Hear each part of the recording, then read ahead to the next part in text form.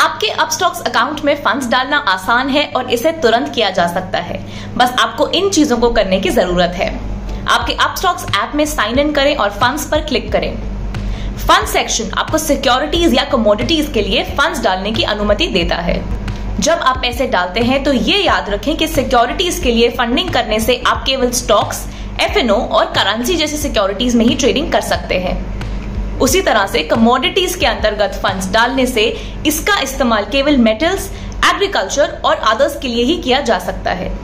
इसका मतलब ये हुआ कि जो फंड्स आप सिक्योरिटीज के लिए डालेंगे, उसका इस्तेमाल कमोडिटीज में ट्रेडिंग करने के लिए नहीं किया जा सकता है और उसी तरह कमोडिटीज के लिए जोड़े गए पैसों का इस्तेमाल सिक्योरिटीज में ट्रेडिंग के लिए नहीं किया जा सकता है। यहाँ फंड टैब के अंदर आप ये भी देख सकते हैं कि आपके अपस्टॉक्स अकाउंट में कितने फंड्स अवेलेबल हैं। आपके अकाउंट को फंड करने के लिए एड फंड्स पर क्लिक करें। जो फंड्स आप डालना चाहते हैं, उसे एंटर करने के बाद आपका बैंक अकाउंट चुने। डिफ़ॉल्ट के रूप में आपका प्राइमरी बैंक अकाउंट पहले ही चुन लिया जाएगा। और आप जो पेमेंट मेथड इस्तेमाल करना चाहते हैं, उसे चुने। जबकि स्मार्ट ट्रांसफ़र गूगल पे और यूपीआई फ्री है। नेट बैंकिंग के लिए आपको प्रति ट्रांजैक्शन सात रुपए देने होंगे। आपके अकाउंट में गूगल पे के माध्यम से पैसे डालने के लिए जीपे सिलेक्ट करें और कंटिन्यू पर क्लिक करें। इस पॉपअप के दिखाई देने के बाद आपके पेमेंट को वेरीफाई करने के लिए आपको आपका यूपीआई पिन एंटर करना होगा। नेट बैंकिंग के माध्यम से आपके अकाउंट में पैसे डालने के लिए आपको इन चीज़ों को करने की ज़रूरत होगी। आपके रजिस्टर्ड बैंक अकाउंट की सूची में से फंड्स ट्रांसफ़र करने के लिए आप जो अकाउंट इस्तेमाल करना चाहते हैं उसे चुने। याद रखें, अगर आप एक गैर अनरजिस्टर्ड बैंक से, यानी कि एक ऐसा बैंक अकाउंट जो अप स्टॉक्स के साथ लिंक नहीं किया गया है, उससे पैसे डालते हैं तो ये पैसे आपके ट्रेडिंग अकाउंट में नहीं जोड़े जाएँगे। सोच रहे हैं आगे क्या होगा? इस मामले में और किसी भी अन्य फेल ट्रांजैक्शन के मामले में आप निश्चिंत रहें। हम आपको टू वर्किंग डेज़ के अंदर आपका अमाउंट वापस लौटा देंगे। आपको आपकी बैंक वेबसाइट के इंटरनेट बैंकिंग पोर्टल की ओर रीडायरेक्ट किया जाएगा।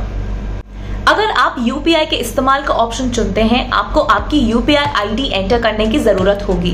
कृपया ये इंश्योर करें कि आप सही यूपीआई आईडी का इस्तेमाल कर रहे हैं। आप इसे आपकी यूपीआई ऐप गूगल पे या फ़ोन पे अकाउंट पर देख सकते हैं। इसके साथ ही ये इंश्योर करें कि अपस्टॉक्स के साथ आपका रजिस्टर्ड बैंक अकाउंट वही है जो आपके यूपीआई ऐप पर प्राइमरी बैंक अकाउंट के तौर पर रजिस्टर किया गया है।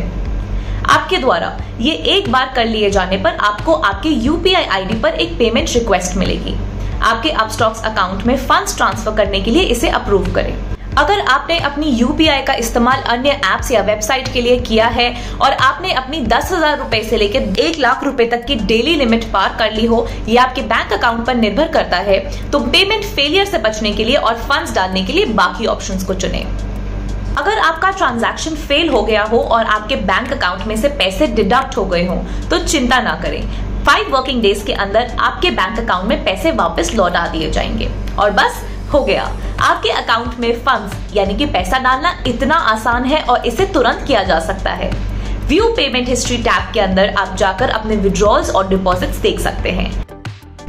क्या अभी भी आपको कुछ पूछना है? हम आपकी सहायता के लिए मौजूद हैं। हमारे सपोर्ट सेंटर में जाएँ और अप स्टॉक्स के साथ आपकी निवेश यात्रा को आसान बनाने के लिए सभी रेलिवेंट रिसोर्सेज को हासिल कीजिए happy investing Investment in securities market are subject to market risk. Read all the related documents carefully before investing.